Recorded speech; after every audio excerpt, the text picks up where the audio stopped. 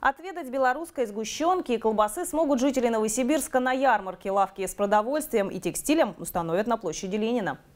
Все ветеринарные э, документы мы получили от белорусской стороны. Здесь на месте будет э, производиться ветеринарный контроль. Представлены будут традиционно мясная промышленность, молочная промышленность, э, продукты переработки, э, легкая промышленность, значит, меха всегда привозятся. Ярмарка белорусских товаров откроется в эту субботу в 11 утра. В программе большой концерт с участием творческих коллективов обеих стран и дегустация.